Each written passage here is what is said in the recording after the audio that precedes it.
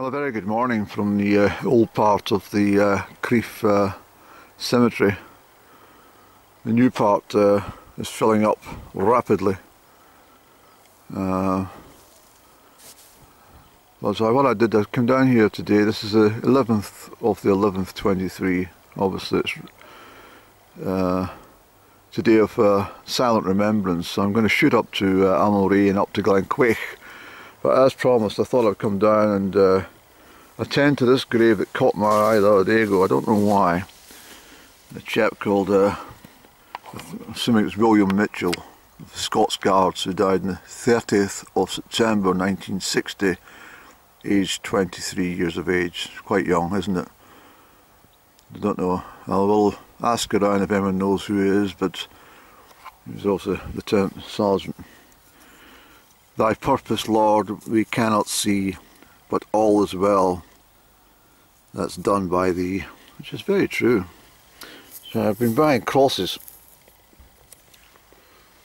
and uh, as I said already, I put one at my dad's grave on last Sunday, and uh, he was a Cameronian, and I've also placed one in the the main arena at the James Square, where the British Legion set up a stall and uh, the uh, remarkable that they do it every year. It's, uh, it's a great tribute to all the people who have fallen over many conflicts in this country. They gave their lives,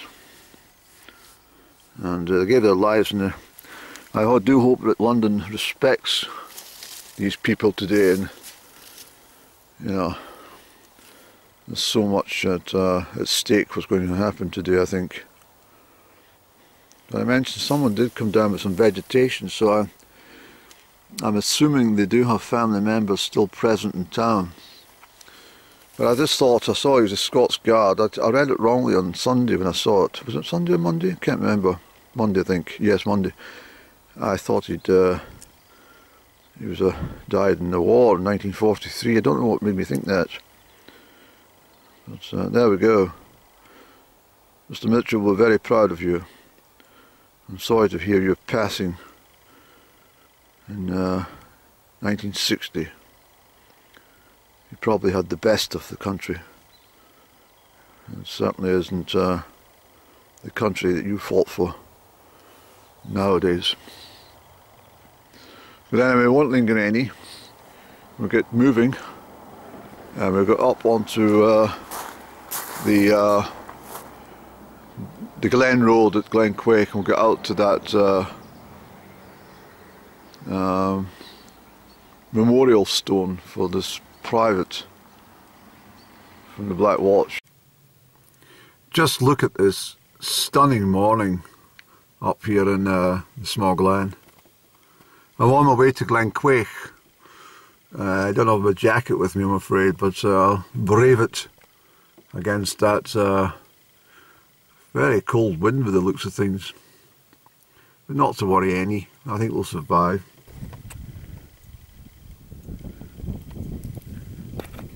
It's exactly 11.11. Let me take a moment of silence.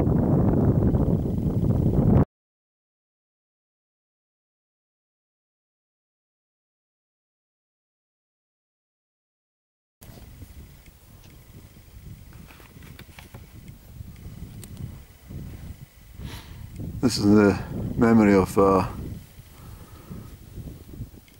Bobby Hutchison, the Black Watch Regiment car coming, who loved these hills. I've laid a cross for this chap, it's unbelievable. I I, I visioned myself arriving here just at 10 past 11 and that's exactly what happened. I had intended gluing it on here.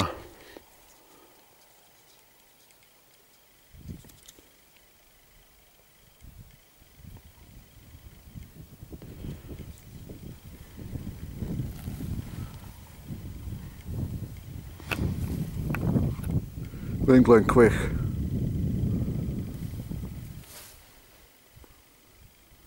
Far end. Kenmore's just down there.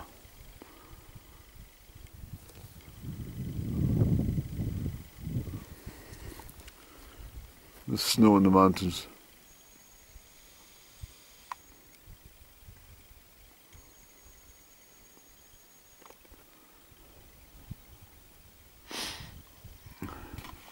This is a route I've walked both ways. Ruined by wind farms. But I came up here specially for this uh, remarkable uh, stone engravement for this chap. The Black Watch.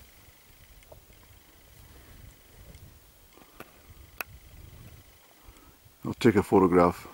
Ah, someone else has put a, look, someone else has put a poppy there. Wonderful. So I'm not the only person that's thought about uh, private uh, Bobby Hutchison of the Black Watch. In remembrance.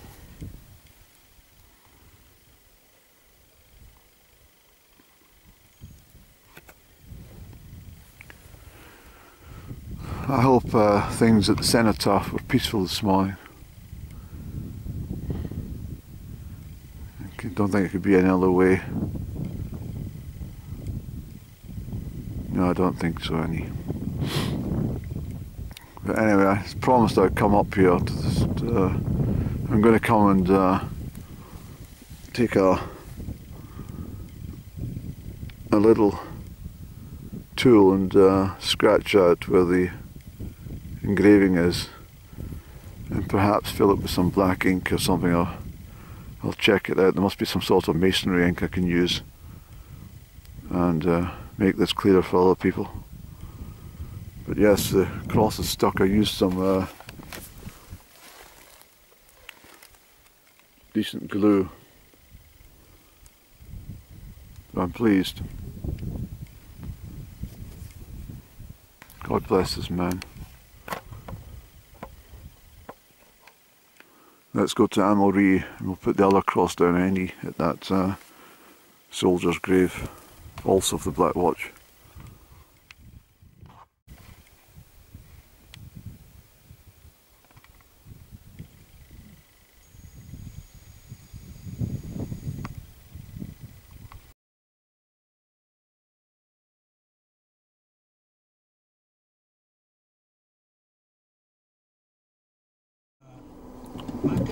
So we're at the top of uh, Glen Quaich, well, coming down towards Garrow eventually. Keep an eye on my camera. Keep an eye on the road. Keep an eye on the, on the traffic coming along, any. We're getting Glen Quaich there, any. Loch Freuchie.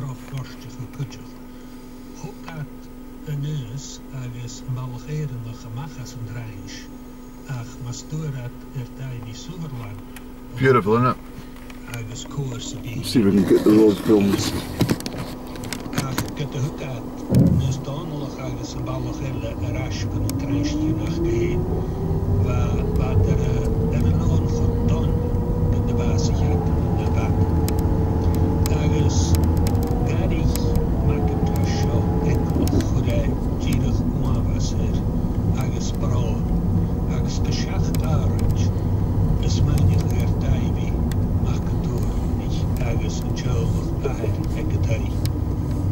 agus goneach ir go car me daimhí aga an an treisichen na garamatich chu é ré a traúir agus bras nig seoe gus a bíspáach na seo scrífa in memória agus péir lé aoin le fer agus sam céideach go netich go nilti gohéin a patsí go á Etienne Anderson. So you were David's father, and he was your only son. And the new cut beats of rotting and work is left undone. Got a buzzer to our right hand side, the camera won't pick it up I don't think. Just an old man, little patient. She's beautiful. She's absolutely gorgeous. That will not come again. She's just above my car. All the letters. She might come down. And I can see them still. She's absolutely superb. Fighting, but just the sheep upon the hill. And how you should get the crops in. And the year Hairpin bend, Annie. Camera sits his prop. And I was his officer. You were only David's father, but I had fifty sons. When we went out in the evening under the arch of the guns, and we came back at twilight, oh God, I heard them call to me for help and pity. Not bad. Not help at all. Oh, never will I forget you, my men that trusted me. More my sons than your Get up, great 80. They could only Bit of a noise coming along here, sir. babies and the young men and their bride. They could not see you die. No doubt, bro. Happy and young and gallant. Cyclist coming up. Their firstborn go, but not the strong limbs I better let him pass, I think. It's got a long climb. with thick Bodies, they screamed, "Don't leave Yeah, I think us." I'll pull in here, Annie, because he's, uh, there's ditches that are on that side. But I was your officer. in memoriam ar a léomh le Ian Anderson. Tá scialach íontach ula go léad a fuachí te michael le físharrta sin. agus Uh, do hurry up, will you, please?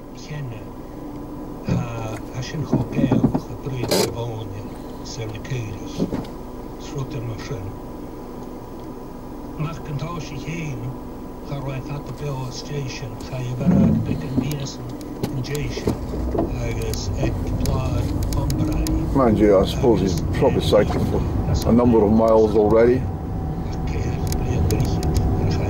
This road's closing on the 13th of November for four days uh, for some very needed repairs.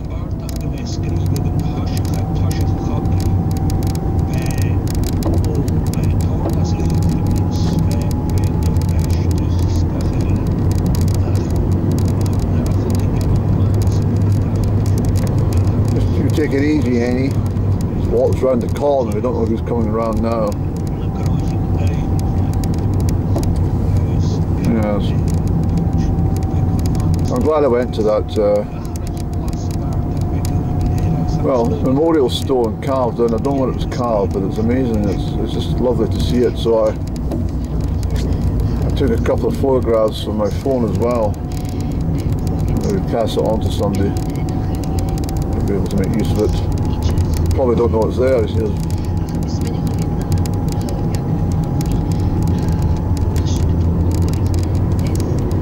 We're coming down to the hamlet of Garrow.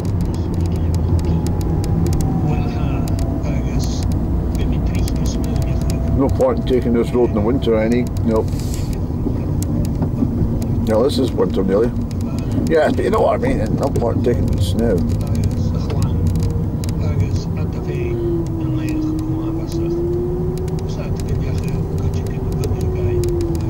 Beautiful day though.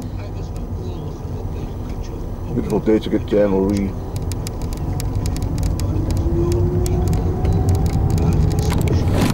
So that's us at Garrow. Can you tell me what you're doing? I'm trying to get past you. Stop your nonsense, please.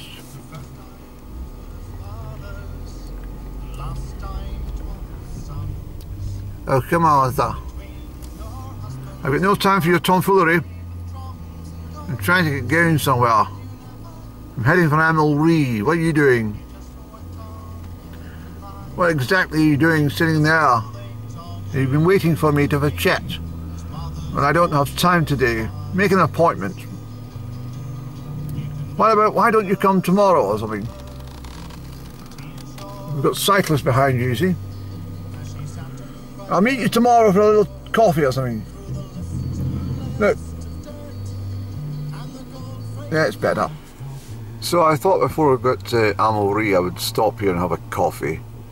It's a beautiful spot. I love it here. The sun, it's a sun trap. It's very pleasant out there in the sun. So I'm going to There's a Mr. Pheasant over there, wandering around.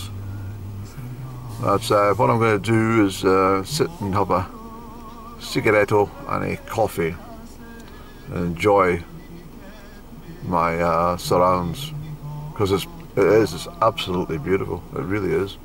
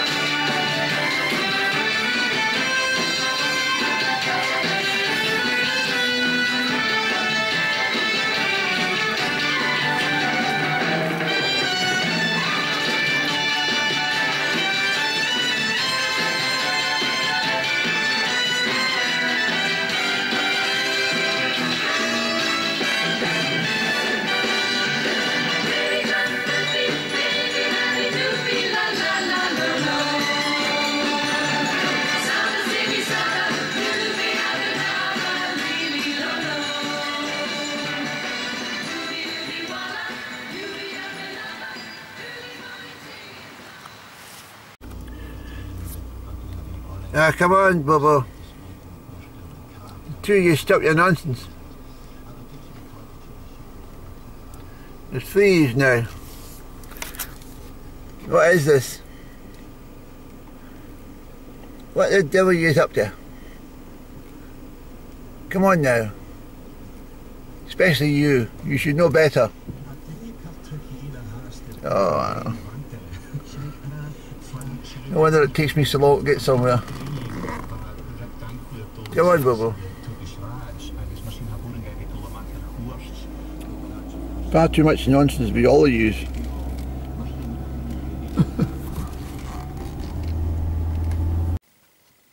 so this is our final destination on this trip uh, for Amulree Kirk. Um, we'll go to the grave in there and we'll leave the final cross and poppy at uh, Black Watch Soldier's grave. And then while we're here, we'll pop in and have some prayer. And uh, then we'll, well, we'll go and get some petrol. And then we'll have lunch. It's been a wonderful trip up here today. It's been absolutely magnificent. It really has. I'm so pleased I made the effort to come and see these people. And, um, you know, as I said, my, my father was a Cameronian. Uh, and um, they were disbanded in 1968. But um, they they they were the Cameronians were, um, you know, Richard Cameron, hence the name Cameronians. But Richard Cameron was the uh, the founder, really, and um, it was during this period of the the Covenanter Wars back in the back in the 1680s. The 1670s and 1680s were terrible times in Scotland. I've mentioned this before, of course. Uh, people were literally slaughtered by the, in the thousands, you know, dependent on which uh, faith they they uh, worshipped, you know. But the uh, the Protestant uh, Presbyterian Covenanters were the, the reason they did it was because they uh, they were barred from uh, preaching to God. They had to preach to the king, and uh, something they didn't want to do.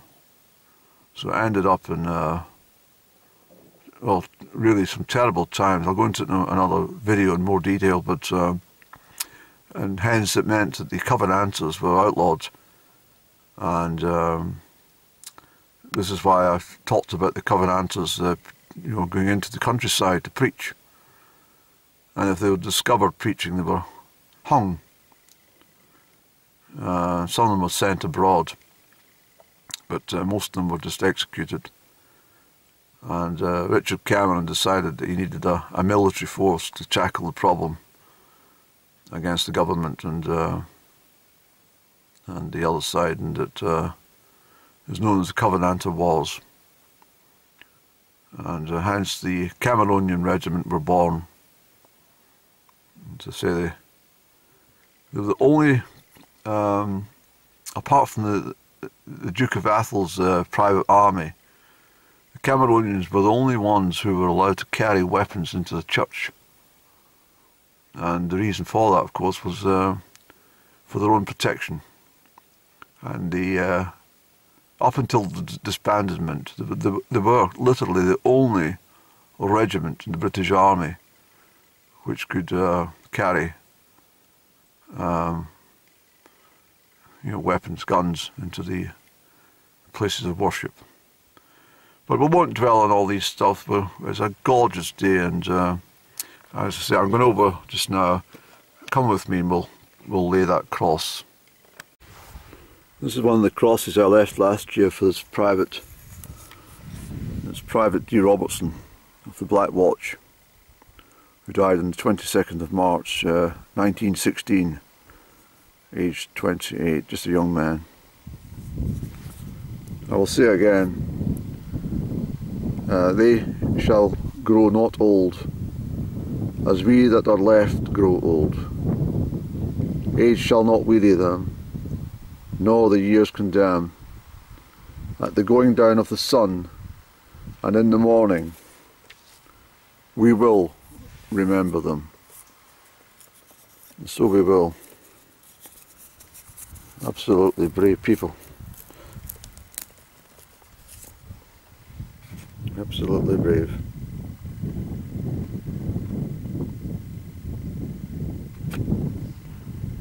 Thank you for your efforts, Private Robertson. She's buried in a very beautiful part of the country.